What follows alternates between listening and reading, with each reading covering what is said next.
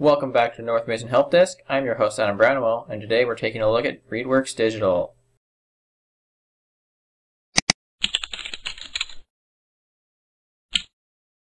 Before I get into this tutorial, I'd like to explain a little bit about ReadWorks Digital. So, what even is ReadWorks Digital? ReadWorks Digital is an online teacher resource that allows them to find various articles and excerpts related to their class, such as science, social studies, other forms of literature like poetry, and then give those to their students as assignments.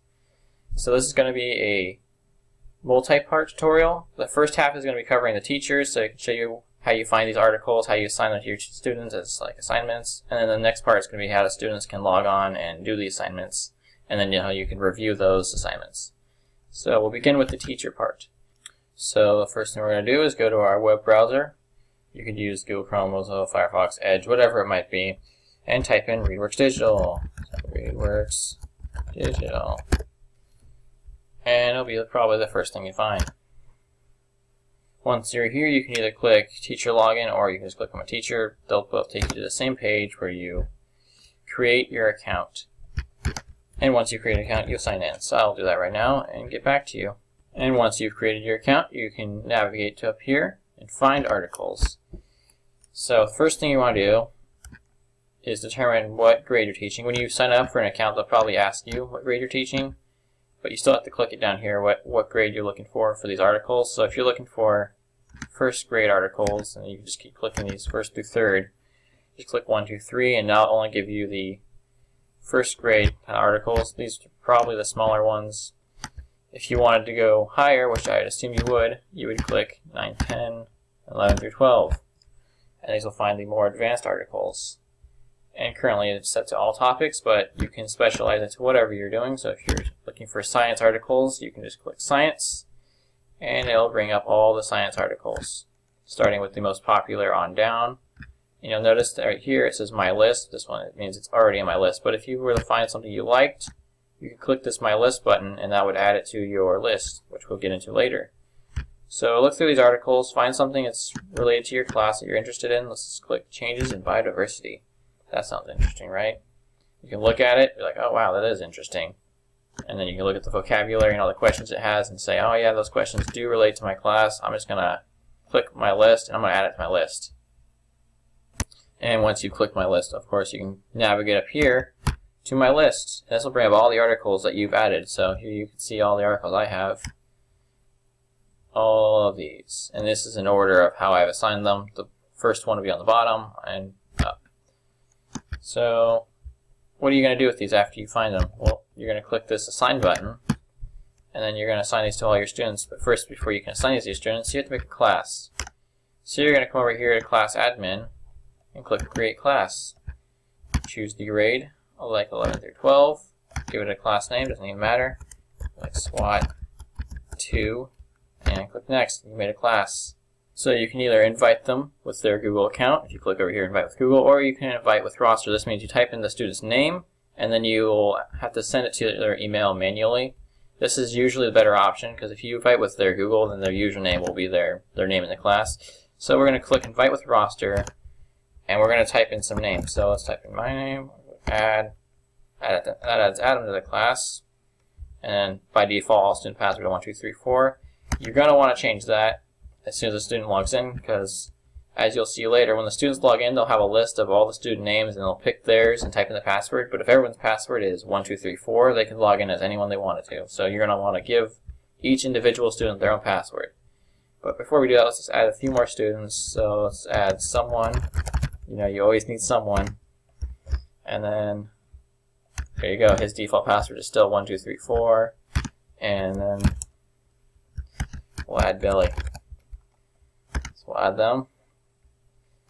And then we're going to give them their own passwords really quickly. So we'll click reset. We'll click new password. His password is 12345. He's got one step ahead of everyone else. And then make him go down to 1, 2, 3, and 9.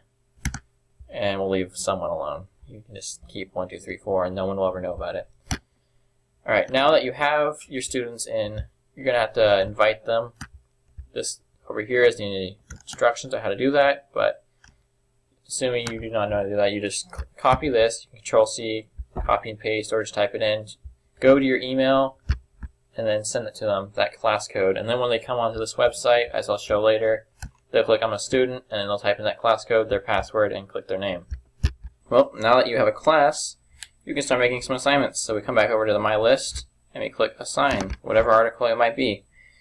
And then we'll scroll down here and you'll have a few options. So you got the article. Obviously, you don't want to leave this checked. You don't even think you can uncheck it. But you can, can uncheck the vocabulary questions and the comprehension questions. You're probably going to want to leave these on. You don't need to leave the vocabulary, but the comprehension questions are the 1 through 10. They ask you if you actually read the article. They make sure you actually read it. And then you can assign the class. So you choose SWAT 2 and who you're assigning it to. So the whole class is by default selected. That's the one you probably want to leave on unless you're picking favorites here.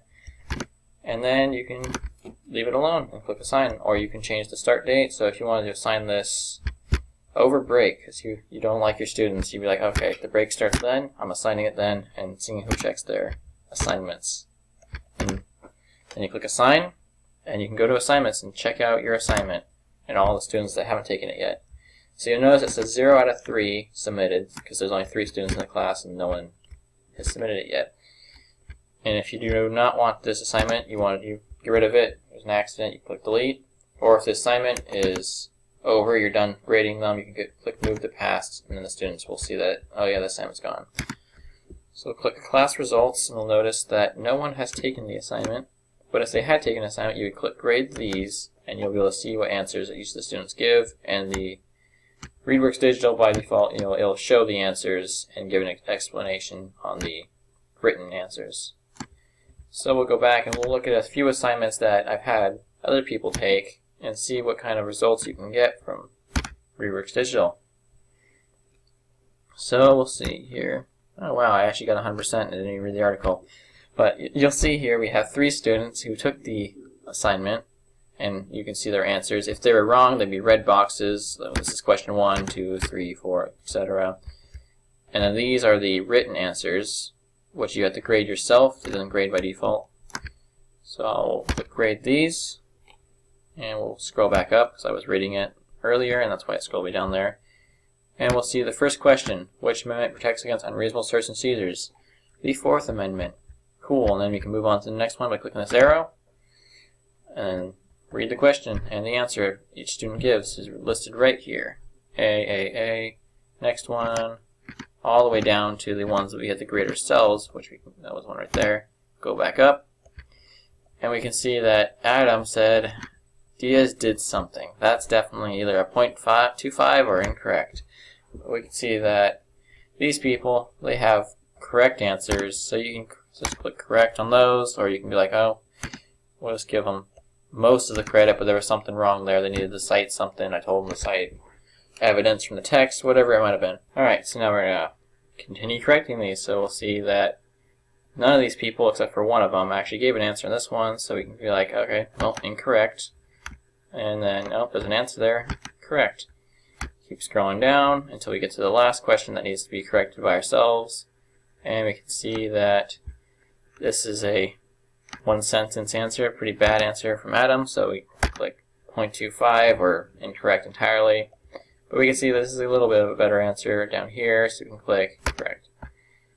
And once you are done grading your questions, you can just go back to the results in your article. So if you go back to assignments, and everything will be graded. So we'll scroll down, and we'll click class results, and you'll see that it's been updated. So some of these, as you can see for Adam, are no they're not all they're no longer blue. There's a red one here for incorrect. There is a blue one here for not graded, and then there's this one for partial credit. The green ones are the ones that are correct. The blue ones are the ones ungraded, and the red ones are the ones that are incorrect. So now we're going to move on to the student portion. So if you're a student, this is where you want to jump in. Here is where you'll start. ReadWorks Digital, you type it in again. If you were here earlier, because it was the teacher portion.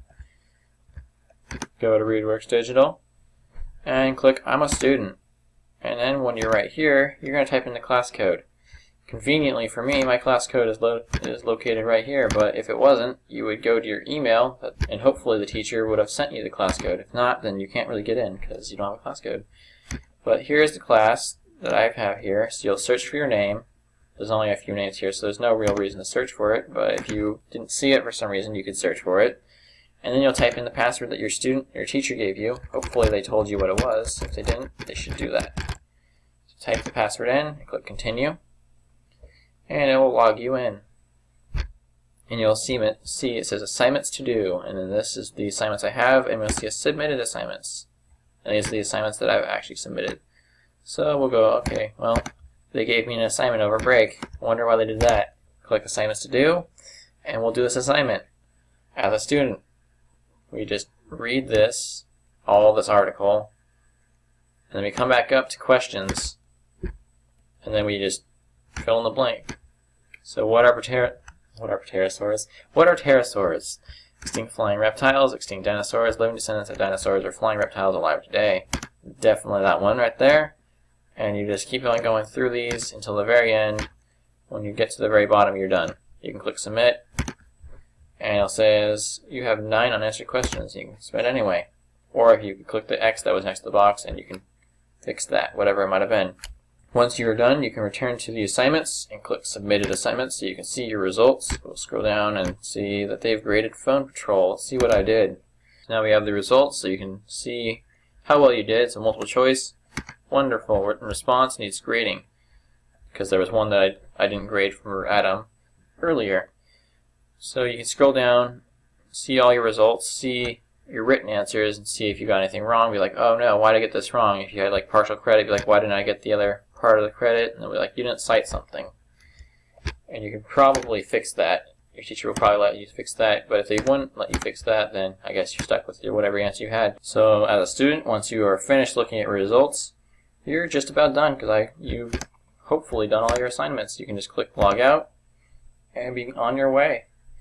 So this has been my quick tutorial over ReadWorks Digital. I hope I was helpful. And if you have any more questions, you can send me an email at brownatta000 at northmasaschools.org. Thank you for watching. I would also like to mention that if for whatever reason my tutorial was lacking, you can come over here to Teaching Tips. And ReadWorks Digital has their own tutorials on their website, so you can go to all these through all these teaching tips and figure stuff out this way. And they also have videos. So if you go article a day, you'll see they have videos on how to use it, how to use the site. And they also have tutorials here. Normally two for each of these. So how to create a class, they have two different tutorials on how to create a class. If you want to know how to create an assignment, there's two tutorials there. So if there's anything that my tutorial was lacking in, you can come over here and get some extra help. Hope this tutorial was helpful all the same, and I thank you so much for watching.